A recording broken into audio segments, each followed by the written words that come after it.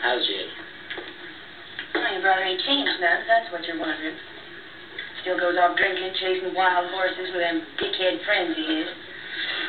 Leaves me sitting at home with this popcorn fire. here.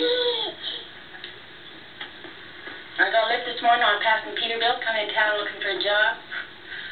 Christ, the only job this shithole's looking for a job. Even though I did get a job, Just maybe hang him out on clothesline every morning, let folks come by and throw darts at him.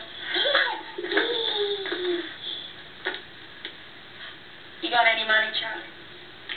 I wouldn't ask, but sheesh, there ain't nothing home to eat except cat. Is that bad, Mommy? Bad. Charlie, I could do better in a ghost town outhouse.